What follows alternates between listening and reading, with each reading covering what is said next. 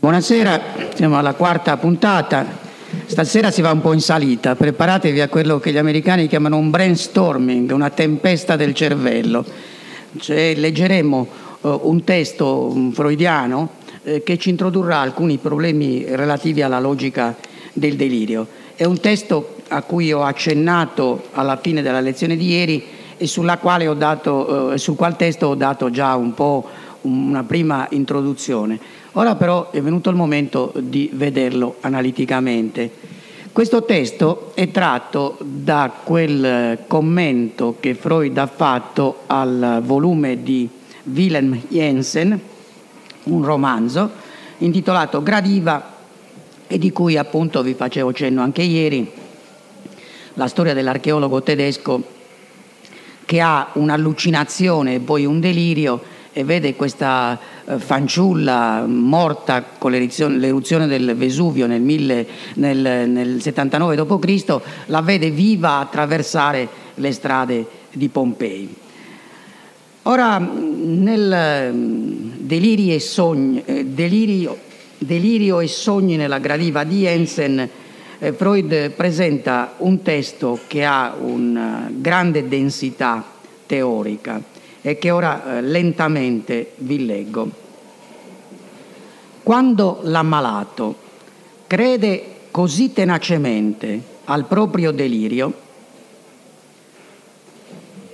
ciò non avviene per un sovvertimento delle sue capacità di ragionare e non deriva da ciò che di errato vi è nel delirio stesso in ogni delirio vi è invece un nucleo di verità, vi è sempre in esso qualcosa che merita fede veramente.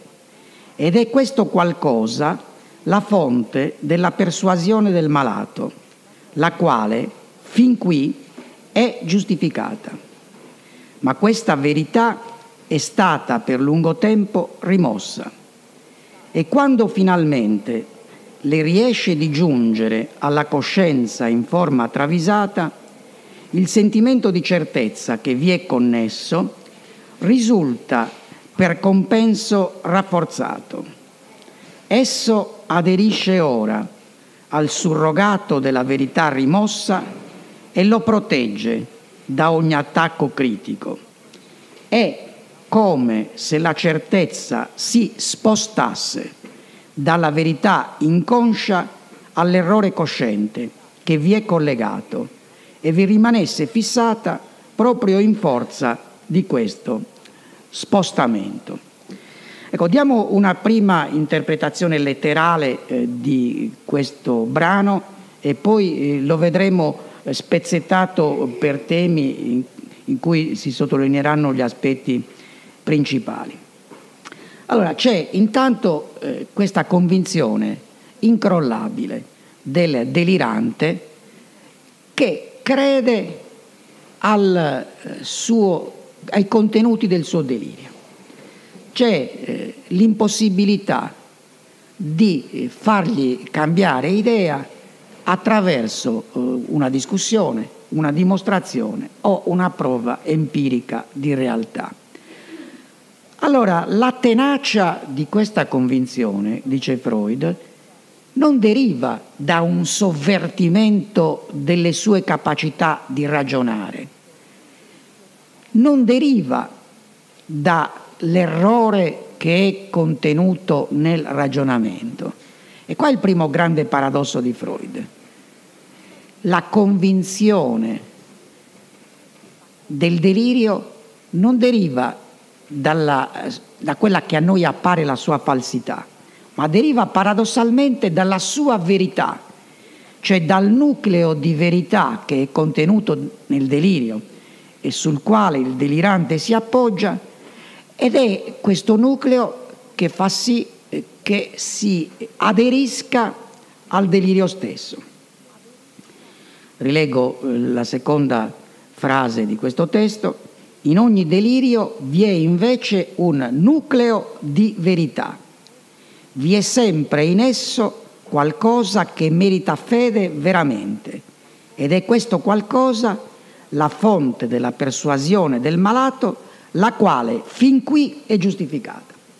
Dunque eh, noi non possiamo, questa è un'indicazione di metodo, considerare il delirio come un macro eh, errore, come un cumulo di falsità.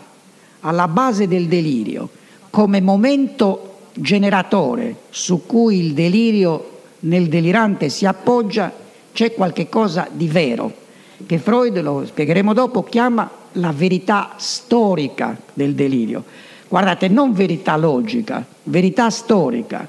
Verità storica significa che c'è un episodio nel delirio che fa sì eh, che, eh, ad esempio, ehm, io abbia, abbia paura di aver compiuto qualche cosa di vergognoso e quindi che gli altri vengano a sapere quell'elemento vergognoso a cui io attribuisco tanta importanza. Di modo che finisco per avere quello che si chiama un delirio di attenzione, cioè eh, elaboro una serie di ragionamenti più o meno contorti in cui si dice che eh, tutti mi vedono come se fossi trasparente, mi leggono dentro, tutti conoscono la mia vergogna. Allora, il nucleo di verità storica è questo mio sentimento di colpa, questo mio sentimento di autoaccusa e di vergogna. Il delirio cosa fa? Qua vediamo un altro modello, eh, dire, eh, della famiglia dei nascondimenti del delirio.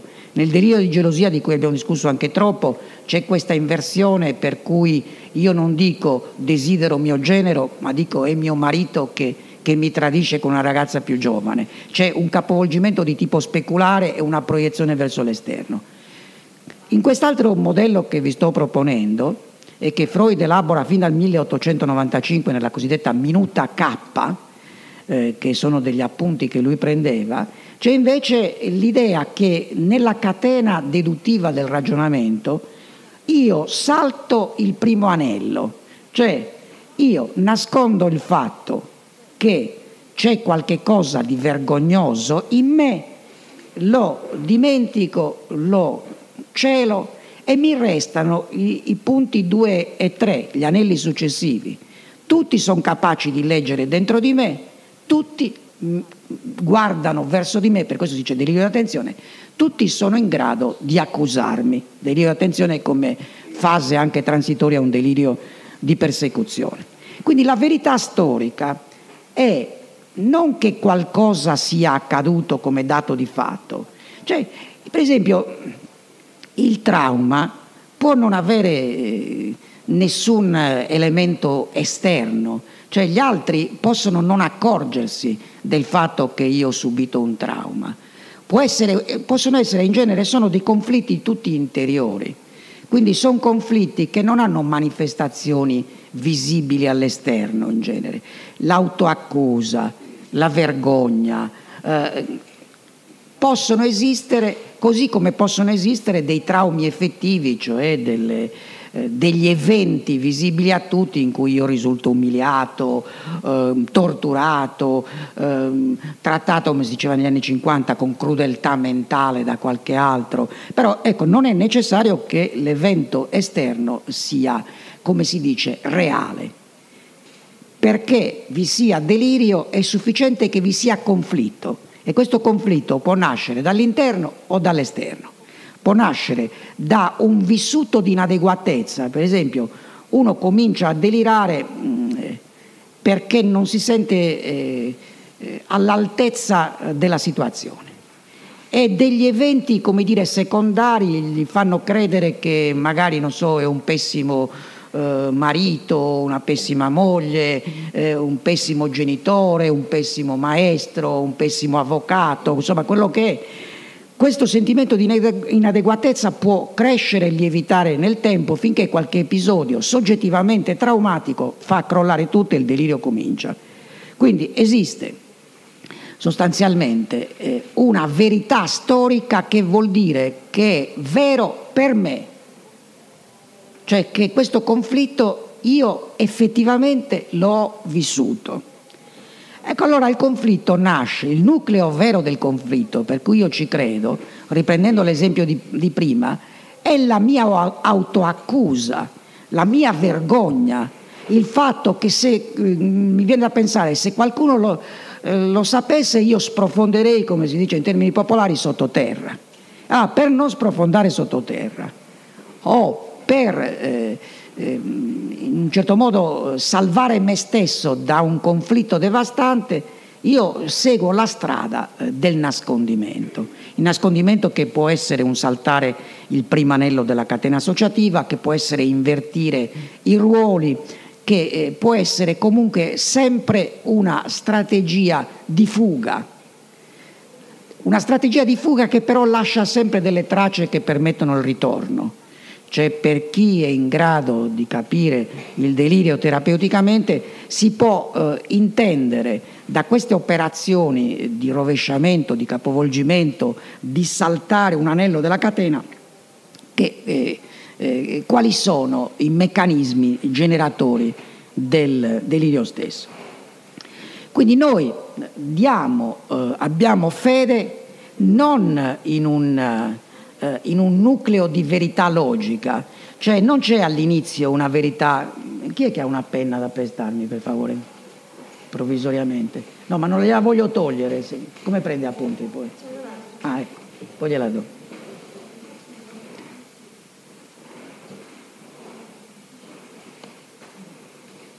Non mi appunto alcune cose vi voglio dire in seguito, mi passano in mente.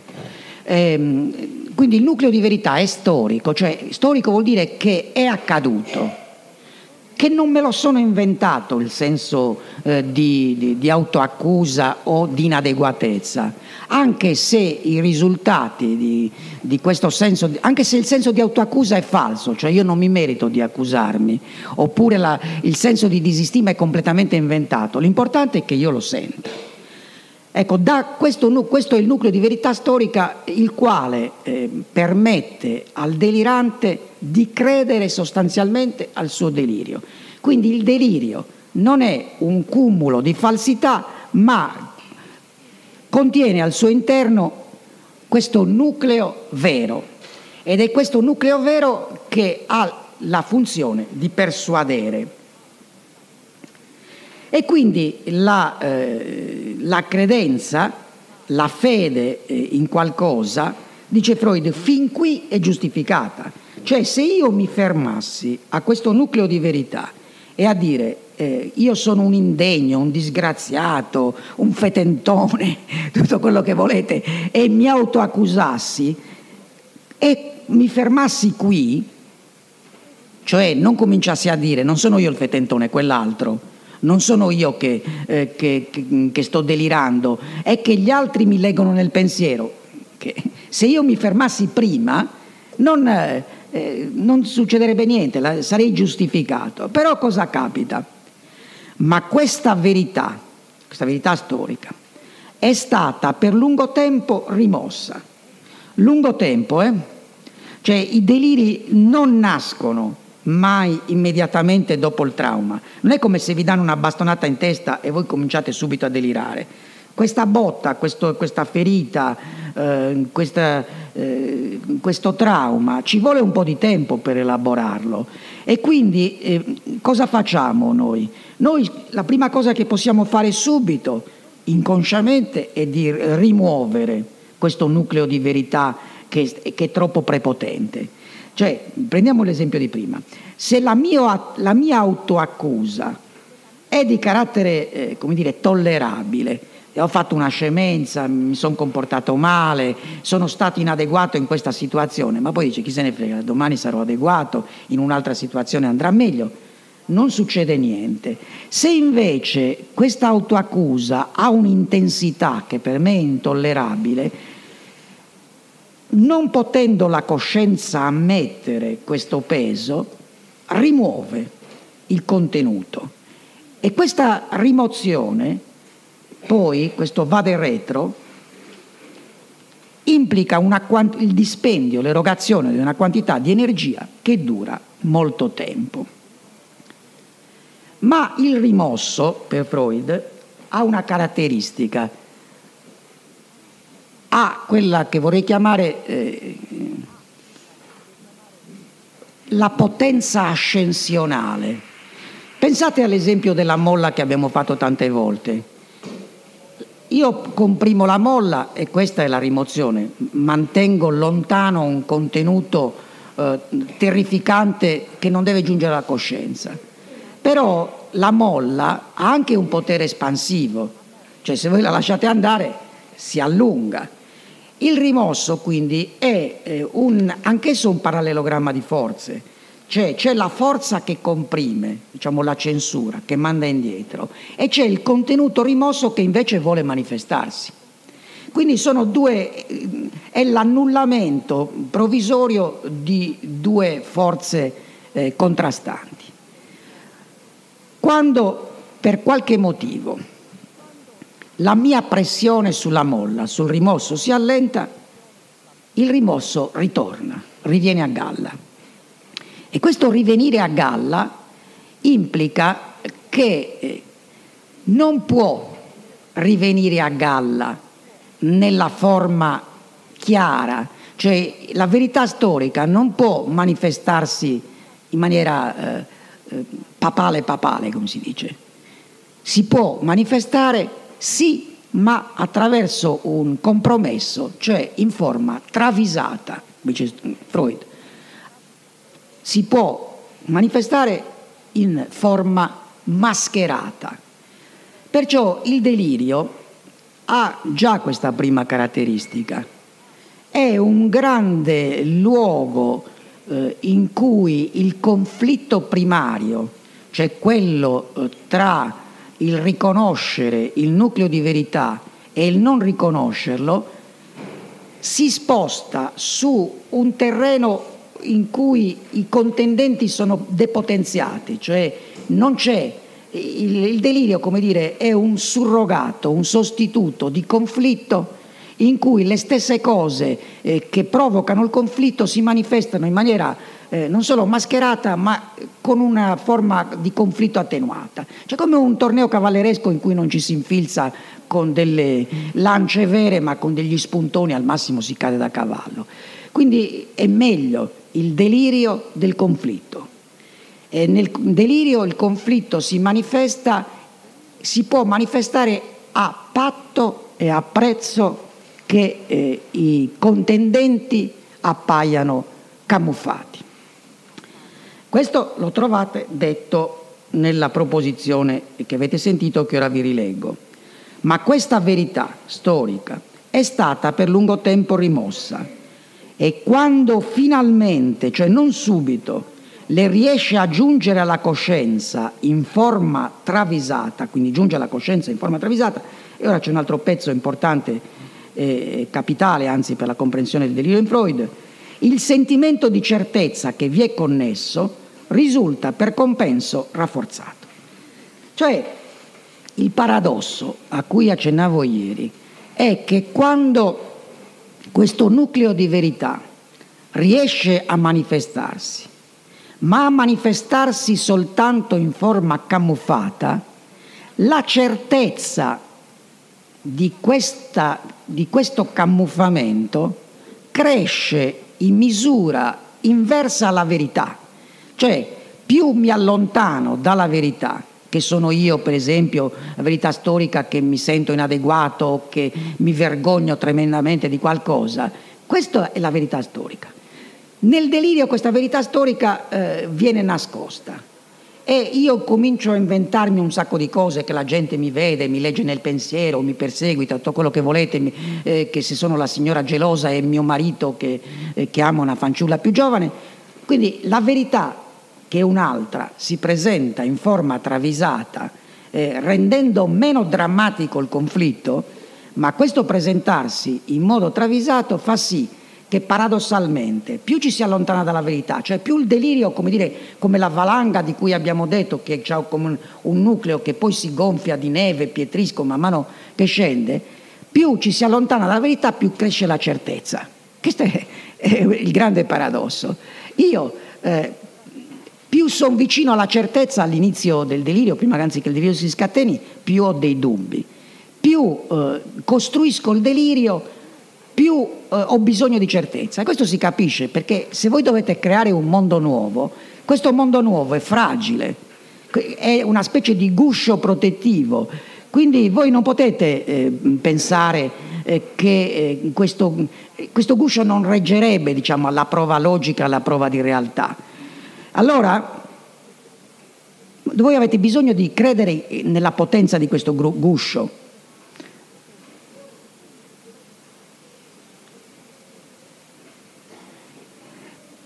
E quindi più è fragile la protezione che date al, a, a, quella cosa terribile che non volete sapere, più è fragile, più eh, siete obbligati quasi compulsivamente a, a ritenerla eh, certissima. Quindi eh, quel nucleo di verità è il punto di partenza, di verità storica. Cioè voi avete avuto effettivamente un trauma, un dramma interiore, un conflitto, questa è la verità storica. Però siccome questo conflitto, ve lo sto dicendo un po' in tutte le salse, perché è difficile prendere questa, eh, questa specie di bestia che è il delirio, più questa, eh, questa, eh, questa, verità storica è intollerabile, più è simile alla famosa Gorgone di cui abbiamo parlato ieri, più eh, io devo nascondere a me stesso, mediante il delirio, questo, eh, questo trauma stesso. Allora, io, eh, man mano che delirio, cioè, man mano che, che il delirio diventa lungo, si accumula, no? come la valanga, la verità del delirio diminuisce, perché io dico un sacco di falsità, cioè dico gli altri mi... Cioè, è, è, pazzo dire che, che, gli altri vedono nella mia mente e sanno i miei più riposti pensieri. Se voi non glielo dite nessuno sa cosa pensate. E poi eh, andando ai deliri di persecuzione eh, è, è, folle dire che, che so io l'avvocato Marotta sta là dietro con, con, un apparecchio che manda raggi elettrici contro di me o contro di voi per, per farvi vedere che so io quale, eh, quale, quale pensiero in testa. Quindi questo è falso, è falso. Però il malato più è falso e più ci crede, questo è il problema. Più è falso e più sono certo. Dunque esiste una sorta di, di legge newtoniana, eh, vi ricordate la, la, legge di Newton sull'attrazione dei pianeti in funzione inversa a distanza, eccetera. Più io mi allontano dal nucleo di verità, cioè più diminuisce la verità più aumenta la certezza e più aumenta la certezza per converso più diminuisce la verità. Perché questo? Andiamo sempre in interpretazione letterale. Ma questa verità, rileggo, è stata per lungo tempo rimossa e quando finalmente le riesce di giungere alla coscienza in forma travisata,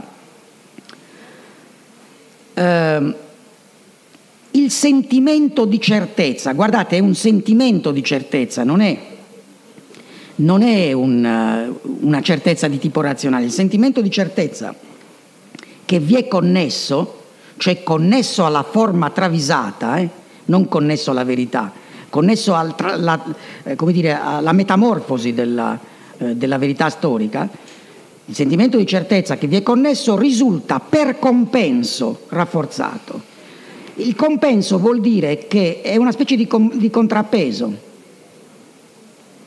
Per poter eh, bilanciare la forza eh, di questa verità storica che non voglio sapere, che per me è terribile sapere, io questo peso è come se avessi un, un contrappeso, come le bilance a due piatti. Io metto tanta falsità su un piatto per controbilanciare quella verità che io non voglio sapere. Quindi c'è un rafforzamento della certezza a detrimento della verità.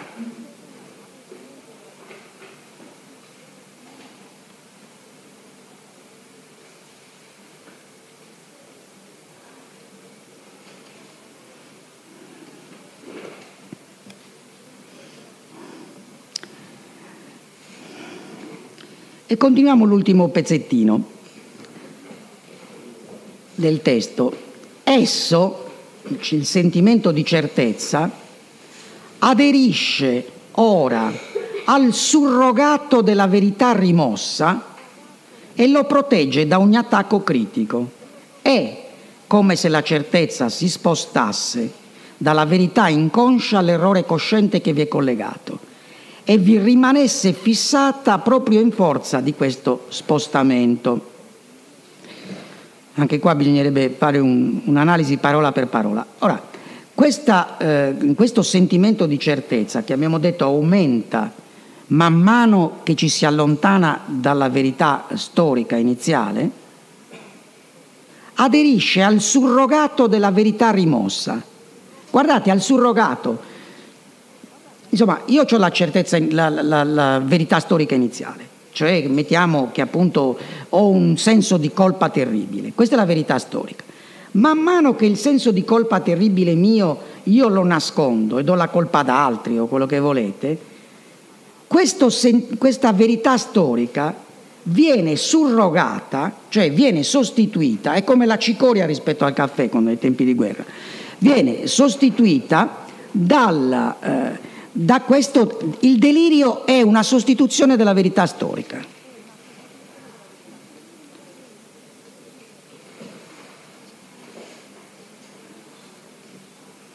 Questo cosa vuol dire? Vuol dire eh, che eh, la, eh, il sentimento di certezza aderisce, cioè si appiccica al surrogato della verità che è stata rimossa e forma una specie di schermo repellente, come si dice per esempio per gli impermeabili rispetto, al, rispetto, al, rispetto all'acqua. Cioè eh, la certezza per, rende impermeabile, inattaccabile eh, il nucleo vero del delirio, cioè mette fuori gioco la critica. Cioè ogni attacco critico, l'attacco critico è messo fuori gioco.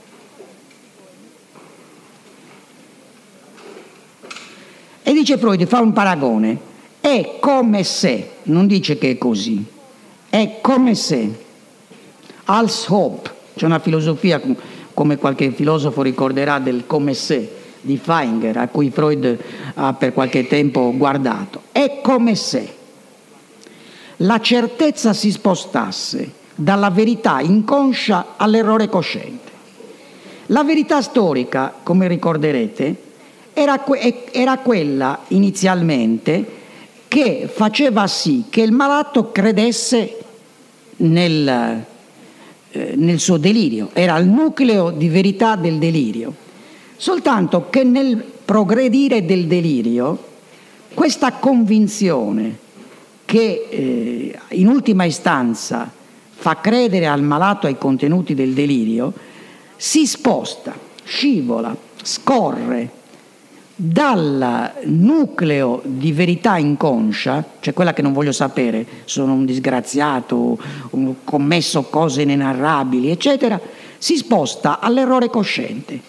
Cioè la certezza, per quello il, il delirio diventa impermeabile, incomprensibile, perché io non attacco la verità inconscia, cioè il mio sentimento di colpa, di inadeguatezza, eccetera. La certezza si sposta sull'errore cosciente che vi è collegato e che rimane fissato all'errore cosciente proprio in forza di questo spostamento. Quindi abbiamo, come vedete, eh, tre modelli che abbiamo visto finora uno è quello del rovesciamento, della signora gelosa.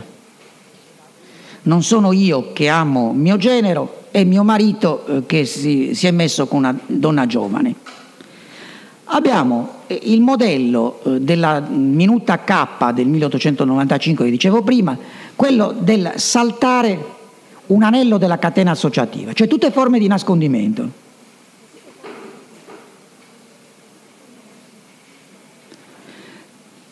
Qua invece, nel Delirio e sogni nella gradiva di Jensen, noi abbiamo eh, una, eh, un nascondimento tramite slittamento o spostamento. Cioè io non, eh, non necessariamente ho bisogno di capovolgere, non necessariamente ho bisogno di saltare degli aspetti, eh, come dire, immediati. Io posso, eh, senza capovolgere niente, nascondere facendo slittare la certezza. Cioè la certezza passa dalla verità alla falsità. È come uno spostamento, se volete, di peso nella bilancia, visto che si parla di bilance, nella romana, no? In quella bilancia così. Voi spostate il peso della certezza sempre più dalla parte del falso. Ecco, abbiamo visto una prima lettura eh, di carattere eh, letterale. Ora vi sottopongo una, eh, una sorta di, eh, di, eh, di attenuato shock rileggendovi il testo per vedere la differenza tra quando l'avete sentito prima non si capiva niente e il primo strato invece interpretativo che credo vi aiuti a qualcosa. E poi passiamo invece alla eh, di alcuni temi specifici. Quando l'ammalato crede così tenacemente al proprio delirio, ciò non avviene per un sovvertimento delle sue capacità di ragionare. Quindi eh, Freud eh, dice quello che in fondo eh, io ho cercato di dirvi in forme completamente diverse. Quando eh, si delira le nostre facoltà mentali rimangono intatte, non c'è nessun sovvertimento. Semmai, come aggiungerà Jaspers, sono eh, le facoltà mentali che si pongono al servizio del delirio, ma le nostre rotelle funzionano. Quindi ciò non avviene per un sovvertimento delle sue capacità di, re- di ragionare e non deriva da ciò che di errato c'è nel delirio stesso. Quindi la prima convinzione è quella in cui verità e certezza coesistono. E alla fine, quando uno scava nel mm, tentativo di guarire il malato, è lì che deve andare a scavicchiare e non nel delirio. In ogni delirio vi è invece un nucleo di verità, vi è sempre in esso qualcosa che merita fede veramente. Ed è questo qualcosa la fonte della persuasione del malato, la quale fin qui è giustificata. Ma questa verità è stata per lungo tempo rimossa e quando finalmente le riesce di giungere alla coscienza in forma travisata, il sentimento di certezza che vi è connesso risulta per compenso rafforzato. Esso aderisce ora al surrogato della verità rimossa e lo protegge contro ogni attacco critico. È come se la certezza si spostasse dalla verità inconscia all'errore cosciente che vi è collegato e vi rimanesse fissata in forza di questo spostamento.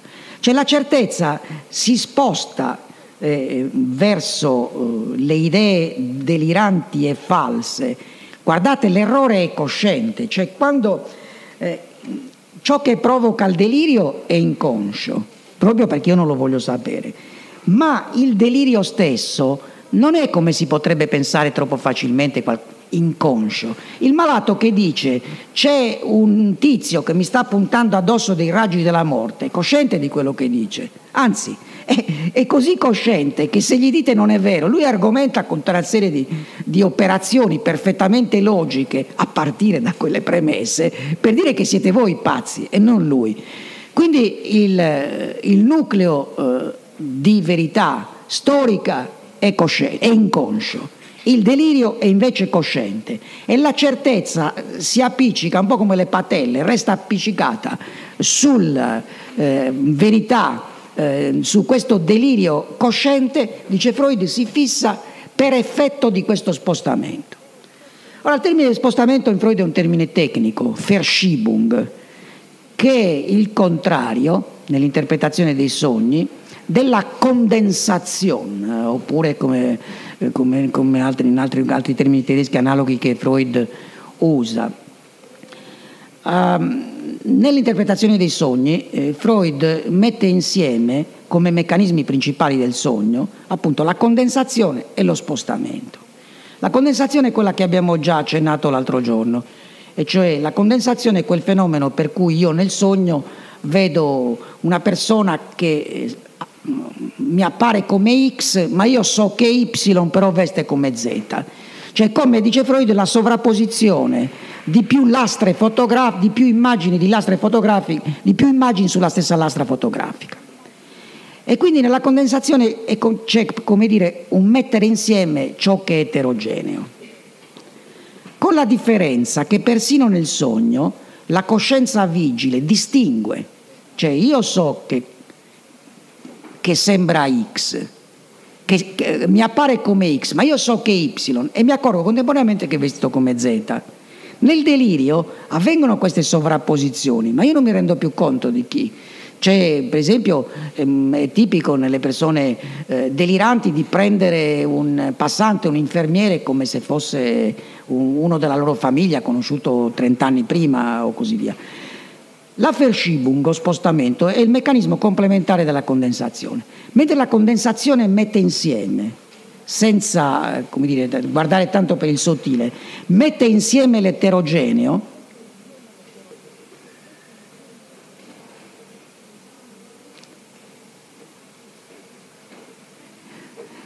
Lo spostamento separa ciò che invece appartiene a, alla stessa cosa. Lo spostamento è il separare, rendendo inintellegibili cose che appartengono allo stesso, allo stesso genere. Quindi eh, è uno smembramento. Ora voi capite, se andate a prendere la logica di Aristotele o la teoria delle classi complicata di Russell, che in questo modo il malato mentale, pur rimanendogli intatti eh, i meccanismi di ragionamento, produce uno stravolgimento logico, perché esistono classi logiche, eh, lo dico in maniera senza tanti tecnicismi. Eh, se io dico eh, il gatto è un felino, io metto la classe dei gatti dentro il genere prossimo dei felini. Quindi qual è la, la buona definizione? La buona definizione, come sapete, è quella che segna la, eh, dif- il genere prossimo e la differenza specifica. Prendiamo un esempio molto più chiaro perché appartiene a una scienza intuitivamente rigorosa come la geometria. Se io dico che il quadrato è un quadrilatero con lati e angoli uguali, io ho dato una buona definizione perché ho segnato la differenza specifica eh, è il genere prossimo. Il genere, il genere prossimo e non il genere remoto. Se avessi detto invece del quadrato è un quadrilatero, il quadrato è una figura geometrica, avrei usato, sarei stato generico, questo vuol dire generico, ah tizio è generico, generico vuol dire che non prende il, genere prossimo ma il genere remoto, quindi è una cattiva definizione, è meno precisa. Allora qual è la differenza? Questo è il genere prossimo, dire che è un quadrilatero, cioè la classe dei quadrati, immaginatela come un cerchio, sta dentro un cerchio più grande che quello dei quadrilateri. Qual è la differenza specifica? Che ha lati e angoli uguali. Se avessi detto che ha soltanto lati uguali, avrei potuto mettere nella stessa classe anche il rombo, perché il rombo ha lati uguali ma non ha eh, dei, eh, dei, degli angoli uguali. Quindi la differenza eh, specifica, il genere pro, la buona definizione, genere prossimo e differenza specifica. Tutto il nostro mondo di, di, tutta la nostra logica comune, elementare, ma anche quella scientifica, si basa su questa capacità di distinguere, di classificare. Tutte le classificazioni che sono state fatte, per esempio da, dal Linneo nella botanica, tutto il nostro modo di ragionare, anche a livelli più alti, è fatto con l'idea che non ci sia quella che Platone, di cui abbiamo parlato ieri, o anche Aristotele, chiama metabasis eis allo genos, cioè un passaggio da un genere, da una classe a un'altra. Che succede nel delirio con lo spostamento, con questa Verschiebung? che ciò che è unito, che fa parte di una classe logica, viene a essere sparpagliato e sembra che appartenga a classi logiche differenti. O ciò eh, che è sparpagliato sembra che appartenga alla stessa cosa. Vi faccio un esempio tratto da Ignazio Mate Blanco, che era un grande studioso non solo psicanalista ma allievo di Russell che ha scritto questo libro, è morto qualche anno fa, eh, scrisse nel 75 a Londra, poi pubblicato in italiano nell'80 questo libro eh, L'inconscio come insiemi infiniti. Ora, avendo avuto una formazione, stato a 24 anni era professore di fisiologia a Oxford, lui era cileno. Eh, poi appunto conobbe Russell, si interessò molto di matematica, eccetera. Eh, lui distingue eh, due tipi di logiche, quella che chiama logica asimmetrica è quella che chiama logica simmetrica. Ve lo spiego subito. La logica simmetrica per lui è quella dell'inconscio. Io cerco di vedere come possa essere in parte anche la logica eh, del delirio.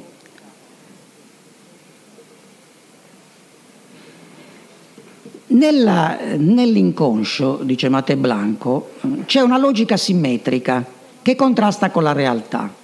Per esempio, eh, chiunque di noi sa che A è padre di B, cioè che so, Giuseppe tal dei tali è il padre di Giorgio tal dei tali.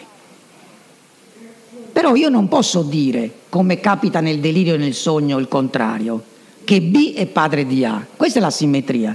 Cioè, se voi sapete che ci sono relazioni asimmetriche che non si possono rovesciare, che A è padre di B e non si può dire, se non si è pazzi o non si sogna, che B è padre di A e che simultaneamente è vero che A è padre di B e B è padre di A, allora, nell'inconscio voi avete una logica simmetrica, mentre la logica razionale o da svegli è una logica asimmetrica, cioè in cui non si confondono le cose. Tradotto nel linguaggio che sto usando io, la classe dei padri implica una certa relazione con la classe dei figli. Cioè, eh, voi non potete dire, per esempio, eh, secondo eh, l'esempio fatto prima, eh, che eh, voi potete dire che il gatto è un felino, che tutti i gatti sono felini, ma non potete dire che tutti i felini sono gatti. Voi potete dire che eh, tutti i quadrati sono quadrilateri, ma non potete dire senza sbagliare che tutti i quadrilateri sono quadrati. Ecco, allora, nell'ambito dell'inconscio, e io aggiungerei, nell'ambito del delirio, succede che attraverso questo duplice meccanismo si abbiano queste, mm, queste forme di metabasi eh, da una classe all'altra, cioè si abbia uno scambio improprio di classi. Si potrebbe, eh, se uno avesse voglia e tempo di, ci fosse una lavagna, cioè, ma insomma non c'ho voglia, uno potrebbe, sì vabbè ma comunque è semplice, uno potrebbe fare classe dei padri che ha una relazione, come dire, eh, univoca in una determinata direzione. Il padre è sempre padre di qualcuno. Io non posso essere padre se non ho figli e non possono essere figli se non ho padri. Quindi la classe del, del, logica di padre ha una certa relazione, come dire, univoca dal padre verso il figlio e dal figlio verso il padre. Io sono figlio di Dio, padre di, ma non posso rovesciare per lo stesso individuo la relazione. A non può essere contemporaneamente padre e figlio di B. No?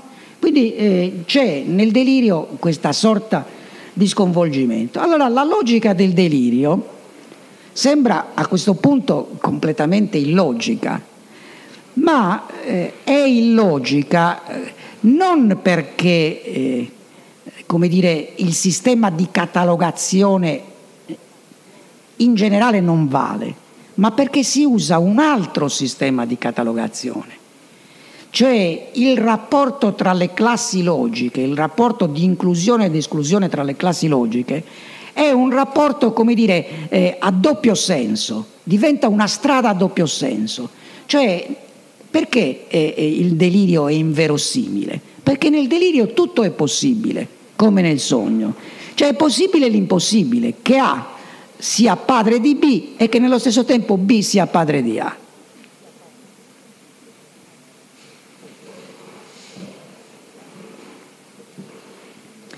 E qua torniamo al nostro mh, mm, primo accenno al, al, concetto di realtà. Quando vi dicevo che il concetto di realtà non è soltanto descrittivo, ma anche ehm, eh, in sostanza prescrittivo e costruttivo, cioè che il concetto di realtà implica una disciplina che si dirige a imporre certi modi di rapportarsi con la realtà, il concetto di realtà è tutto costruito attraverso delle obbligazioni che sono anche logiche.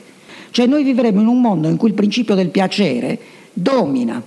Invece la realtà è legata proprio a questa rinuncia, che è terribile. Io vorrei tante cose, vorrei, non vorrei avere dolori, vorrei, una volta provato un piacere lo vorrei riprovare sempre con la stessa intensità.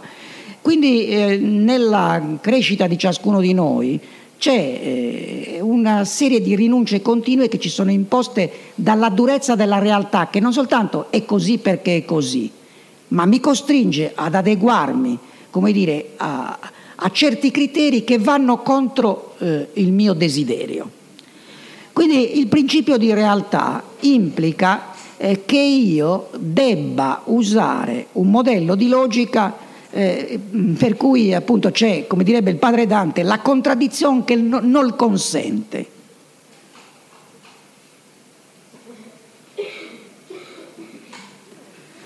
Cioè io ho una cosa o un'altra. Io non posso sempre, eh, nel, nel, rapporto per esempio ai bambini a scuola, essere sempre coccolato come a casa, eh, mentre gli altri mi, mi trattano, mettiamo, da, da, da, da, asino, da ultimo della classe, da fesso, da attaccabrighe oppure posso andare bene a scuola e se sono al ginnasio mi va, bene, mi va male con le ragazze o con i ragazzi e io non posso come dire, avere tutto. E allora la logica eh, è una di queste impalcature della realtà che eh, indirizza appunto eh, il mio essere verso determinati obiettivi. Diciamo un'altra cosa allora facendo un'ipotesi un po' più azzardata, che nell'età infantile, dove domina il principio di realtà, cioè nel momento in cui siamo deboli, perché eh, il bambino umano, come sapete, eh, ci sono dei bellissimi studi di Arnold Gehlen e di tanti studiosi eh, di fisiologia umana, il bambino umano è quello più indifeso per più lungo tempo cioè, vedete un cavallino dopo qualche giorno barcolla ma già in piedi, è già relativamente autonomo. Il bambino umano praticamente se, se non ci fosse nessuno che lo curasse morirebbe. Quindi questo rapporto che si è creato, che è un rapporto di nutrimento ma soprattutto di affetto, di indistinzione tra nutrimento e affetto, bionivoco, da madre a figlio, da genitore a figlio, da figlio a genitori, con tutti i conflitti che Freud ci vede, è un periodo, come dire, di, in cui si cerca di salvare i bambini, normalmente, a meno che non si finisca nella cronaca nera, si cerca di salvare i bambini dalla cattiveria del mondo, insomma, da, eh, si cerca di, brutte, di evitar loro delle brutte esperienze. Eh, quindi in questo periodo, se guardate mh, attentamente, insomma, o senza nemmeno tanta attenzione perché è tanto chiaro, i bambini, eh, il bambino, come dire, non ha limiti ai propri desideri e i limiti gli vengono imposti attraverso una disciplina. La mia tesi è che della disciplina facciano parte anche le strutture logiche, cioè che per orientarsi nel mondo in base al criterio di realtà bisogna seguire la logica della realtà, che non consente la contraddizione nello stesso tempo, che mi invita a guardare le cose da vicino, a imparare dagli errori, eccetera. Invece nell'età infantile eh, io non, eh, non, sono, eh, non, sono, ancora tenuto, sono un irresponsabile, eh, mi è concessa una temporanea irresponsabilità.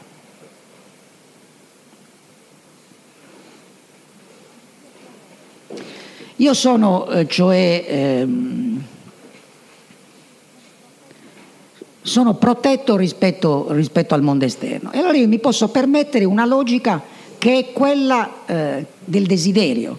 E siccome il desiderio può tutto, i bambini possono trasformare eh, questo mm, bicchiere, che so io, eh, in uno dei sette nani, eh, perché la loro fantasia ancora non ha limiti. E il gioco dei bambini è un momento, una specie di... Eh, è come dentro una placenta, si creano un mondo per conto loro. Notate che il mondo dei bambini è la creazione, il gioco è la creazione di un mondo.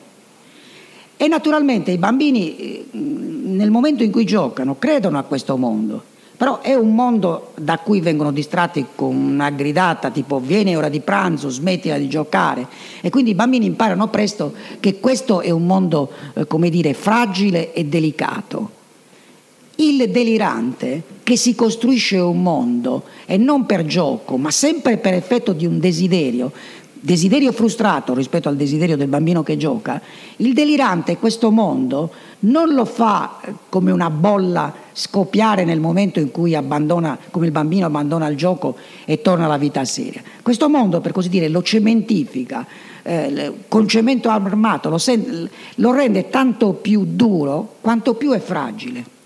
Ecco allora il bambino sostanzialmente può eh, costruirsi una realtà, un mondo in cui i principi logici nostri non valgono, in cui come si vede nelle favole, tipica espressione del, non del bambino, ma del rapporto tra bambini e adulti, del desiderio degli adulti spesso di, eh, non, eh, di, ne- di, insomma, di negare ai bambini gli aspetti traumatici, come quando una volta si diceva che erano nati sotto i cavoli, oppure che il nonno che, che, in realtà è morto sta dormendo, o che lo portano via ma lo stanno portando con una carrozza in paradiso. Tutte queste pie e bugie che si usano per i bambini sono semplicemente dei modi per proteggere, per così dire, eh, il loro mondo. Un mondo fatto soprattutto di fantasie.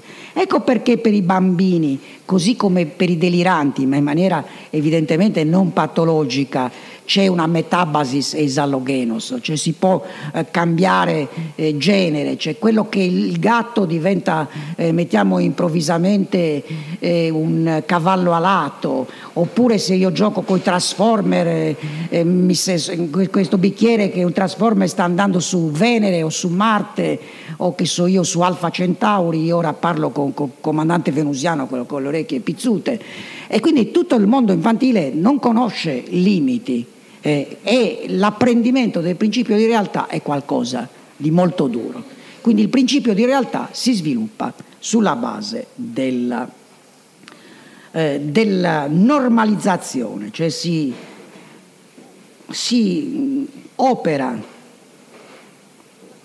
attraverso il principio di realtà per fare un mondo compatto, univoco. E quello che è importante è l'univocità io so che questo bicchiere, che questa lampada non è un serpente, so che questa è acqua e non è arsenico. il principio di realtà è un principio di distinzione, in cui tutte le cose sono separate e hanno una relazione ben precisa, genere prossimo, differenza specifica. Nel mondo del delirio, o nel mondo dominato dal principio del piacere o dal desiderio, tutto può essere tutto e tutto può essere il contrario di tutto. Da qui l'elemento di eh, deregulation del delirio. Avviandomi alla conclusione, allora eh, da qui il senso più profondo, secondo me, del termine delirio. Il delirio è andare oltre la lira, il delirio è uno sconfinamento della verità, è una verità, un nucleo di verità che va oltre se stesso. Quindi il delirio non è semplice falsità, il delirio ha come seme, eh, come eh, elemento generatore questo, questa verità storica, che poi per nascondere se stessa fa tutta una serie di capriole, di salti, di, e eh, per nascondere se stessa sposta sempre di più eh, il sentimento di certezza dal nucleo di verità al suo surrogato. Da qui e ne parleremo domani. In conclusione, la diffidenza teorica che Freud dimostra in diversi campi per eh, due categorie fondamentali, cioè la categoria di evidenza e la categoria di coerenza, cioè quelli che sono eh, in apparenza, ma anche in pratica, entro certi limiti, eh, i eh, simboli stessi della verità, che la verità è prendete, prendete il modello stesso euclideo, eh, la, la geometria euclidea, è caratterizzata da evidenza e da coerenza. O l'etica di Spinoza, more geometrico demostrata, eh, si basa sul modello degli assiomi che sono evidenti, eh, delle proposizioni, dei corollari. Sempre eh, si è vista l'evidenza e la coerenza, o quasi sempre, c'è cioè una tradizione minoritaria, l'evidenza e la coerenza come fattori di verità. Invece Freud, come vi accennavo prima, che eh, è, eh, un, eh, è, stato uno scolaro eh, di, eh, di, Brentano all'Università di Vienna, cioè ha frequentato i corsi di filosofia perché forse sapete che lui voleva fare filosofia, ma siccome era povero, eh, la famiglia aveva bisogno di soldi, ha preso, come dice lui, una Umleitung, una deviazione ha fatto medicina per guadagnarsi il pane e poi voleva ritornare a fare la filosofia. La psicanalisi è una formazione di compromesso tra medicina e filosofia, tra la, la filosofia che non dà il pane e la medicina che insomma in qualche modo gliel'ha data Freud.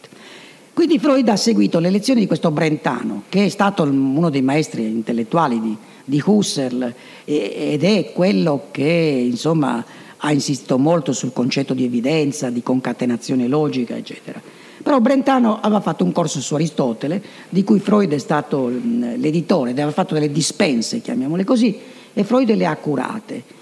E in Aristotele, nella metafisica, che era oggetto del corso di Brentano, c'è una, se lo trovo, c'è un passo in cui eh, Aristotele eh, dice eh, che sostanzialmente le cose che ci sembrano vabbè non lo trovo, ve lo dico a memoria, le cose che ci sembrano più certe eh, sono in realtà eh, quelle più, eh, più dubbie, perché succede che noi davanti alle cose più certe siamo ciechi come gli occhi del Nycterix.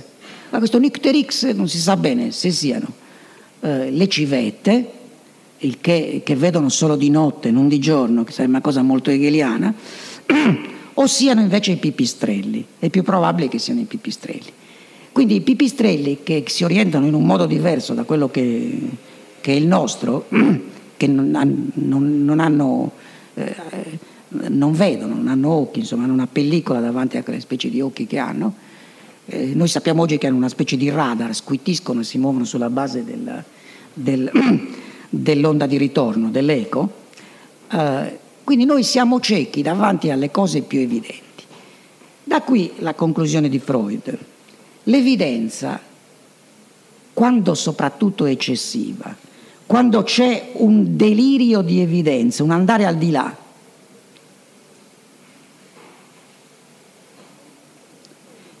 l'evidenza serve tanto eh, più a nascondere che a mostrare. Se io, per esempio, nel delirio sono certo di qualcosa, mi sembra evidentissimo che qua ci sta seduto appunto eh, il, duca, il principe Caracciolo, chi volete, io sono certissimo, eh, siete voi che non lo vedete, allora questa evidenza per me, quanto più la difendo, quanto, quanto più mi sembra splendente, tanto più questa luce serve a nascondere qualcosa. Cioè, detto in altri termini, si può nascondere sia... Eh, coprendo qualcosa, sia puntandoci addosso una luce eh, accecante. Si vede tanto poco nel pieno buio che nella piena luce. Cioè la verità è fatta di chiaroscuro. Ecco allora la caratteristica del delirio è che generalmente non conosce il chiaroscuro. Cioè nel delirio le cose, proprio per eccesso di certezza, o sono bianche o sono nere. E quindi eh, il... Però cosa significa questo? Significa che nella, nel mio delirare questo manicheismo, questo fanatismo eh, che esclude ogni dubbio, mi serve proprio per consolidare la fragilità del mio mondo. E quindi tanto più io credo qualcosa evidente, tanto più mi inganno, perché questa evidenza non è altro che il risultato dello spostamento della certezza dal nucleo di verità storica al suo surrogato. E questo è quanto.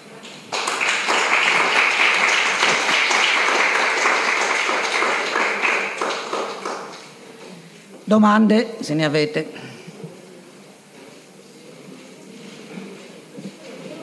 Prenda il microfono. Scusa prima ancora di cominciare perché uh, dunque o non so se mi volete interrompere perché o mi armata di pazienza o io non riuscirò a esprimere quello che voglio dire. Eh, Partiamo dall'unico, eh, è difficile, partendo dall'ultima cosa, va, che non mi sono neanche scritta, se, se, sì. ehm, per quanto riguarda una cosa evidente, ehm, più evidente, e sono pienamente d'accordo, più, tanto si può nascondere una cosa con la troppa luce, tanto con, eh, nascondendola, eh, il mondo degli adulti, tanto più evidentemente logico, eh, tanto più evidentemente potrebbe essere delirante. Prima di tutto questa è una mia, una mia idea, non la sto a spiegare perché sennò uh, ne affiniamo una notte. Eh, per quanto riguarda il principio di eh, realtà ehm, di cui parlava lei prima, ehm, Il principio di realtà, secondo me, eh, non può essere, eh, come, come, dice lei, eh, eh, non può essere imposto, il principio di realtà va interpretato e va spiegato, perché il bambino non è affatto debole, il bambino è un essere fortissimo ed è potenzialmente ehm, strutturato in una maniera tale che ehm, in una maniera tale che se lasciato libero a se stesso non nella misura in cui fa quello che vuole, ma nella misura in cui non si esprime attraverso il nostro mondo che è già strutturato e quindi una violenza continua che noi facciamo. Eh, già io questo tema l'avevo affrontato prima, me l'ho affrontato l'altra volta, glielo dissi questo mio pensiero, perché oltretutto per me la logica della realtà, so che può sembrare una pazzia o un delirio, io voglio capire chi è che la decide. Come? Chi decide la logica della realtà? Su che presupposta la logica della realtà? Su un fattore quantitativo? Su quanto noi, ripeto il concetto di prima, siamo fragili per cui ci siamo strutturati in questa maniera? Per cui accendiamo la televisione e vediamo la gente morta, eh, poi ci stanno gli stupri per strada, poi ehm, ci sta la violenza e noi continuiamo però a parlare di una logica? Oppure ci sta chi rimane stupefatto e a questo punto la, rifiuta questo tipo di logica a costo di pagare in prima persona e, e eh, essere de- definito letteralmente un pazzo squilibrato o una pazza squilibrata in questo senso. Un'altra cosa ancora è ehm, dunque il delirio Ah, se l'autoaccusa di cui lei parlava ehm, eh, ne ha fatto un esempio, eh, non è un, un'autoaccusa che non ha una mm, motivazione eh, inconscia, ma se per esempio l'autoaccusa è reale, cioè se per esempio io mi accuso una cosa che veramente ho fatto, anche in questo caso potrebbe valere, eh, questa è la cosa che mi è un poco più chiara di tutte, potrebbe valere il senso di rimozione, io credo di sì. E un'altra cosa ultima è che, ehm, eh, anzi due cose, mm, secondo lei bisogna essere in due per vivere la rimozione, cioè praticamente eh, eh, ci si rende complici della rimozione di una persona o la persona può rimuovere da sé. Vale a dire se io in questo momento voglio rimuovere qualcosa e vengo da lei, lei, lei mi permette di, di delirare o mi, mi, mi, visto che non sono proprio letteralmente ancora pazza, cioè quanta corresponsabilità sta nella persona che ancora non delira? E il delirio che è una sostituzione della verità storica storica, come lei dice, eh, rimossa, ma se una verità è storica, eh, rimossa in che senso? Far finta che non sia successo questo. Vabbè, lei risponde, sì, ha fatto sei domande. Su, su, sì, sì. Grazie. Allora, prego. Ah, ma si può rispondere? sì, sì. Dunque, mh, mm, che il mondo delirante sia quello degli adulti, direi proprio di no, eh, nel senso che normalmente il principio di realtà che si impone ai bambini non è soltanto violenza, ci sono anche dei parametri. Se quello mette le dita dentro la presa della luce, voglio dire, non ci saranno più bambini se voi, eh, come dire, gli permettete di fare tutto. Quindi la violenza, eh, come dire, è una por- forma di coercizione. Se un-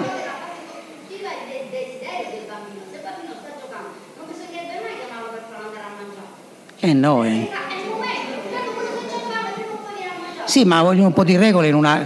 Comunque queste sono... ognuno educa come gli pare. Io per Dio a un certo punto li faccio venire a mangiare, se no che, che, che, diavolo facciamo? Uno mangia alle 4, l'altro alle 5. Cioè no, il problema è che della, la, la, società richiede coordinazione, nessuna società... No, ora non...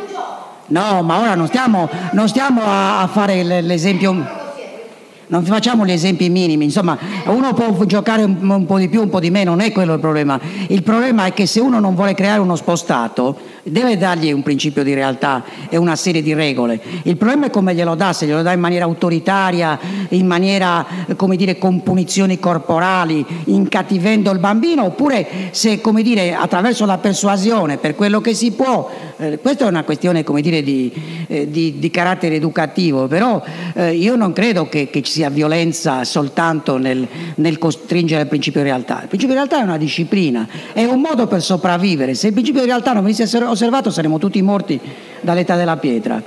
Per quanto riguarda poi la terza domanda, uh, chi decide qual è la logica della realtà?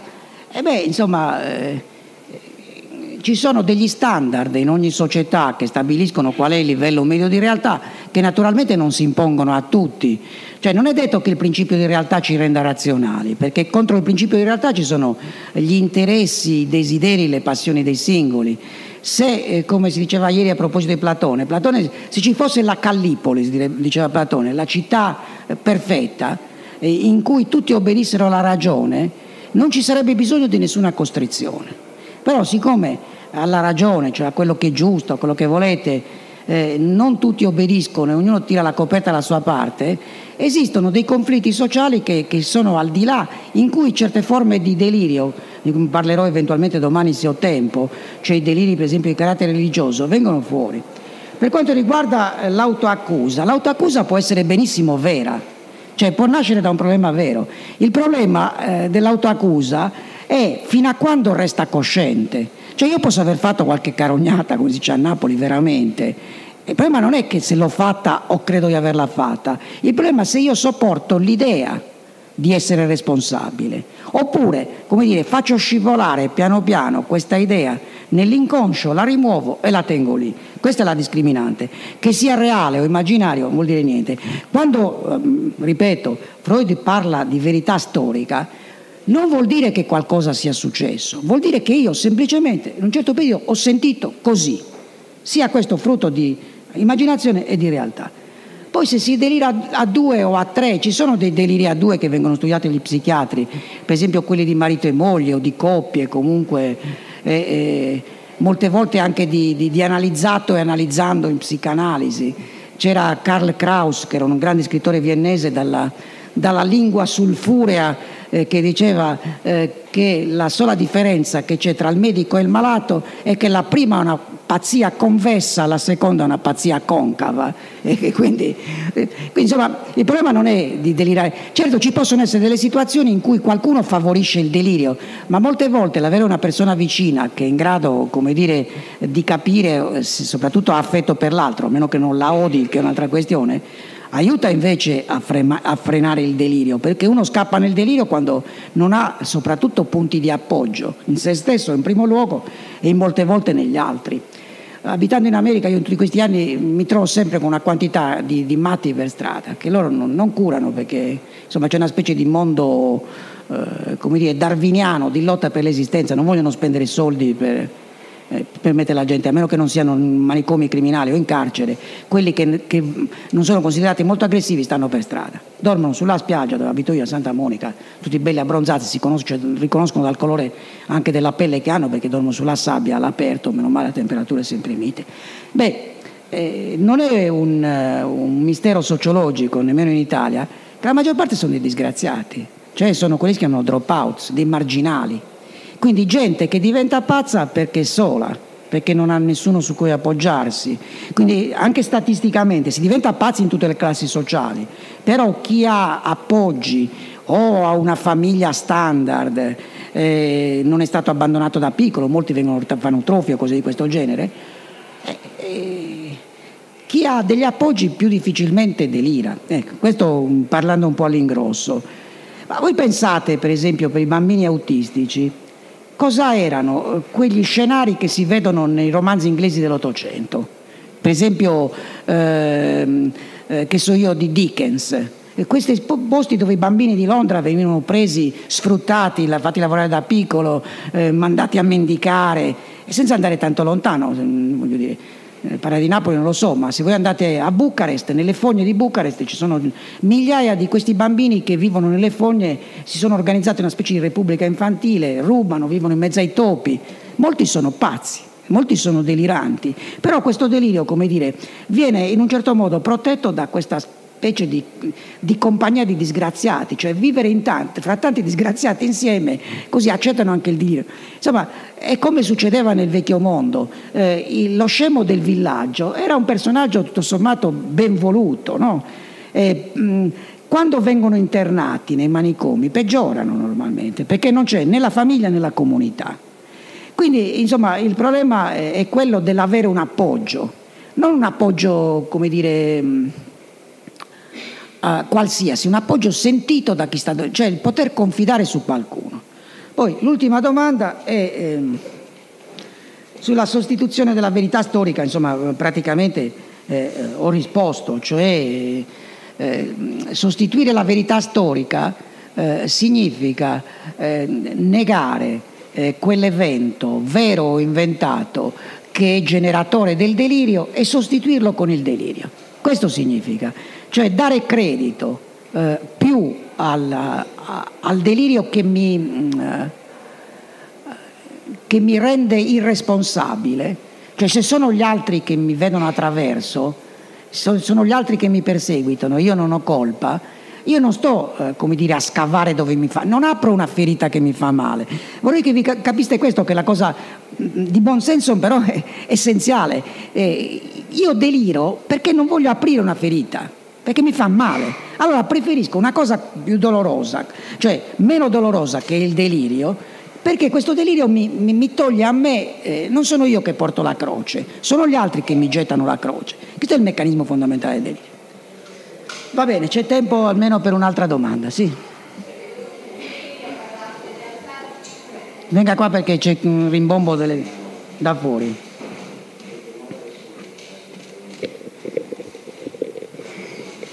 Lei ieri ha parlato in realtà di memoria plastica, sì. cioè di modi di organizzazione del passato, della memoria, di coesistenza del tempo. Io le volevo chiedere quali sono i principi di questa. Quali sono? I principi, i criteri sì. di organizzazione, se possono essere definiti valori.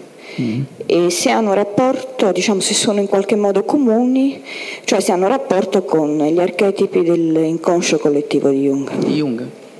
Dunque, non hanno rapporto con gli archetipi di Jung perché l'idea di Jung è che esistano davvero, un po' come parlando in termini tecnici, come le categorie kantiane, che sono forme e che prescindono dal contenuto, che esistano davvero delle forme del pensiero, che sono archetipi. Per esempio l'archetipo del vecchio, il vecchio saggio, o l'archetipo del vento, anemos, spirito, no? eh, che quindi quando si vede come nel finale del grande dittatore di Chaplin questi campi di grano eh, che vengono agitati del, dal vento, questo è un archetipo. Eh, quindi l'archetipo in Jung è effettivamente qualcosa che probabilmente, archetipo collettivo, che l'umanità ha creato nel, nel corso di decine di migliaia di anni della sua storia e che quindi determina eh, il presente attraverso dire, la forma eh, del passato. In Freud invece c'è l'idea dell'ibridazione dei tempi, della coesistenza, come dicevo ieri, della coesistenza e della successione, che vale per le persone sane e per i malati di mente. Per le persone sane vale perché ciascuno di noi non si porta degli archetipi collettivi. La, la cosa interessante di Freud è che Freud è un pensatore dell'individuo, non della, del collettivo, non crede a questi archetipi collettivi. Uno dei motivi per cui Jung ebbe cattiva fama negli anni 30 è perché era considerato filonazista, infatti era in corrispondenza con amico, col cugino di Goering, ma insomma queste erano ehm, delle cose un po' come dire polemiche, però certamente ai nazisti piaceva questa idea che ci fossero degli archetipi collettivi e che quindi il singolo non avesse nessuna responsabilità. Invece Freud, eh, da buon, sociologicamente da buon borghese viennese che credeva nella responsabilità del singolo, è un pensatore dell'individuo eh, magari ci possono essere dei parallelismi, come abbiamo visto, della teoria della ricapitolazione di Haeckel, il parallelismo tra ontogenesi e filogenesi, ma Freud pensa in termini individuali. Allora, in termini individuali, nella psiche sana c'è sempre un, un ibrido temporale, cioè noi eh, viviamo nel presente e contemporaneamente il passato continua a prolungarsi da, il passato personale continua a prolungare, cioè ci sono in noi dei nuclei, dei grumi, dei fueros del passato che continuano a vivere in noi e che ci accompagnano nel presente.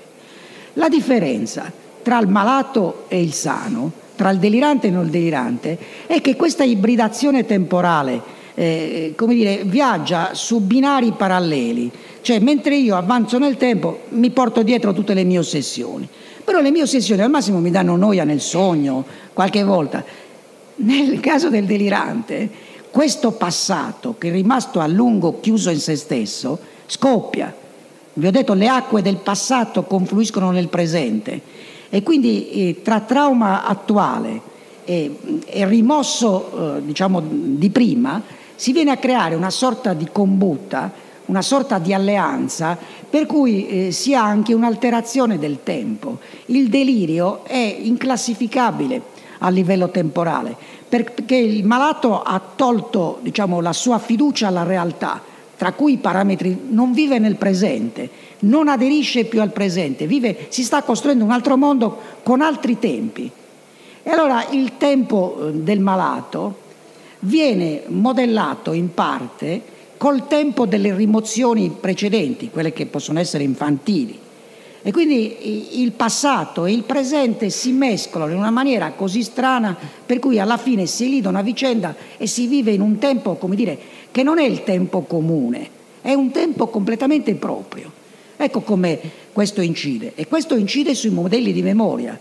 Cioè se diamo retta al Freud che abbiamo letto all'inizio, vi è una memoria di tipo, eh, come dire, unico eh, secondo eh, la tradizione. Freud dice che non è unica la memoria, ma è molteplice, cioè c'è un tipo di memoria, cioè di organizzazione dei, dei ricordi, che è fatta in un modo nell'infanzia e in un modo diverso nelle altre tre eh, età della vita. Quindi quello che Freud dice che noi riorganizziamo diversamente i nostri ricordi in ogni epoca della vita, cioè che noi abbiamo delle strutture, dei codici completamente diversi. Ecco perché allora vengono fuori fueros, perché io a livello infantile, diceva Freud, i miei ricordi, non avendo degli, la prima, primissima infanzia, non avendo linguaggio, eccetera, non li posso, eh, come dire, rendere coscienti, li somatizzo. Eh, eh, non so, ci sono delle persone... Ehm, eh, io ricordo insomma, che in campagna c'era un mio cugino che, che eh, che da, piccoli, da piccolo era sfollato in campagna e beveva l'acqua del pozzo.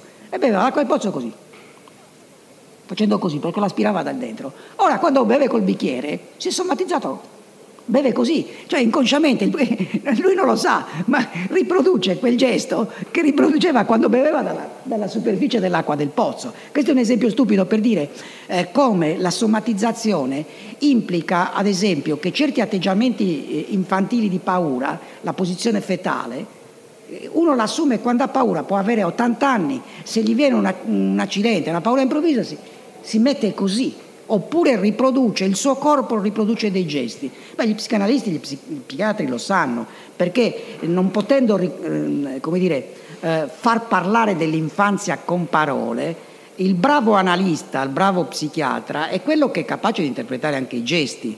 E allora è attraverso i gesti, sono gesti parlanti. E anzi gli psicanalisti sostengono che anche il silenzio parla, ci sono qualità diverse del silenzio. Ecco qua. Sì. Non fa nulla. Non fa nulla.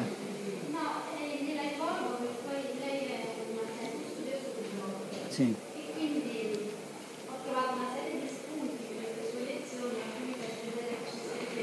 E lei studia a Bloch? Mm-hmm. Uno è proprio quello delle limitazioni temporali mm-hmm. e quindi della, della evidenza. Sì, sì. Hai capito? Qualcuno parla, forse meglio il microfono. Io non sì. sento almeno. Vuol venire qua, mi piace.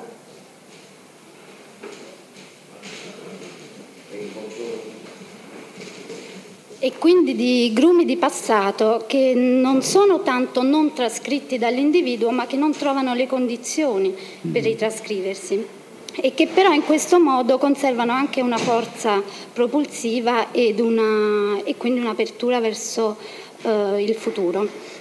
In questo senso anche eh, il non conscio come non solo non più conscio ma anche non ancora conscio. E, mh, mm, mi chiedevo se questo poi eh, cioè, mi chiedevo, poi lei in realtà lo ha anche detto in un suo saggio, sì. che questo conduce ad una razza più ampliata e mi divertiva il fatto che poi Bloch definisca il pensare come un oltrepassare e quindi esattamente la definizione che lei ha dato del delirio. Grazie. Eh. Dunque, Bloch, eh, va detto, aveva una certa diffidenza nei, nei confronti di Freud, cioè lo studiava ma riteneva che Freud, come Hegel, eh, fosse uno con lo sguardo rivolto all'indietro, cioè che privilegiasse il passato, l'infanzia sul futuro. E lui si propone come un correttore, diciamo, di Freud facendo vedere eh, che nell'inconscio non c'è soltanto eh, l'oscurità dell'attimo vissuto o lo sguardo all'indietro, l'anamnesi, come la chiama lui, ma c'è anche appunto questa molla, questa forza propulsiva del non ancora.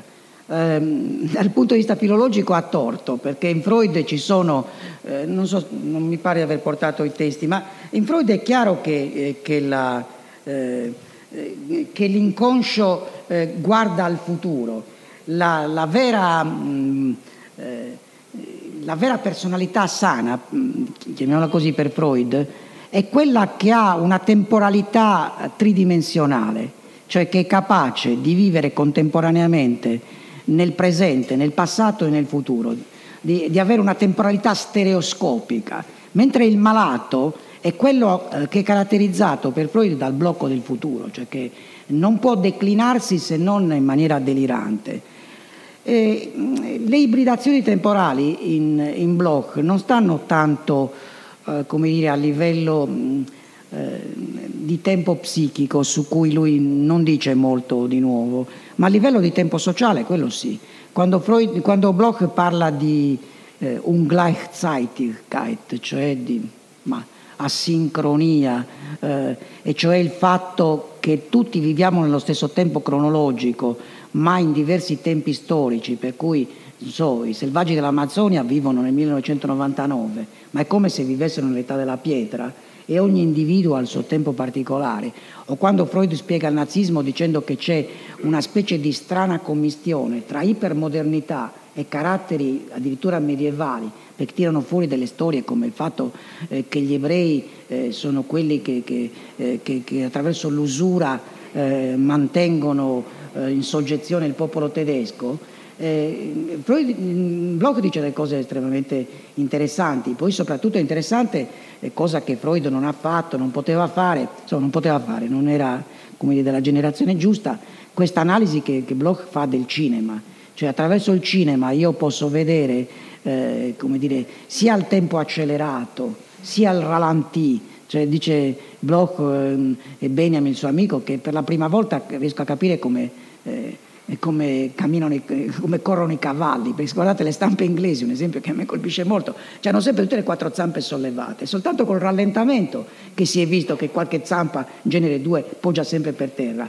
oppure che si vede la crescita di un fiore attraverso fotogrammi presi a distanze diverse, oppure eh, che c'è il, il flashback, ci sono tutte queste Freud insomma, è un classico, Bloch è uno che vive l'esperienza dell'espressionismo e quindi attraverso l'espressionismo eh, c'è il montage e il demontage delle strutture temporali, cioè usa il tempo come si fa nel, nel cinema per accelerare, abbreviare, per saltare certi punti.